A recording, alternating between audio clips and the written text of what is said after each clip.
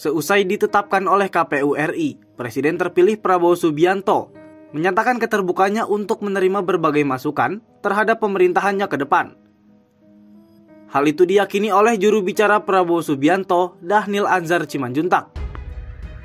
Menurutnya, Prabowo akan mendengar masukan dari beberapa mantan presiden, mulai dari Joko Widodo, Susilo Bambang Yudhoyono, hingga mantan presiden kelima Megawati Soekarno Putri.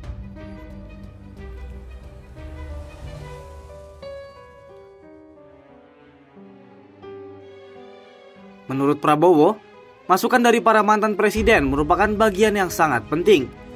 Ia menilai presiden terdahulu sudah memiliki pengalaman panjang sebagai pemimpin negara. Daniel juga mengungkapkan Prabowo menginginkan duduk dan diskusi bersama dengan Jokowi, SBY, serta Megawati untuk membicarakan berbagai hal.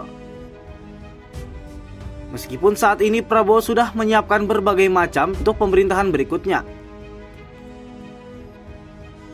Tak hanya itu, menurut Dhanil selain melanjutkan program-program yang sudah ada di zaman Presiden Jokowi, Prabowo juga berkomitmen pada kepemimpinan presiden-presiden sebelumnya, seperti SBY maupun Megawati.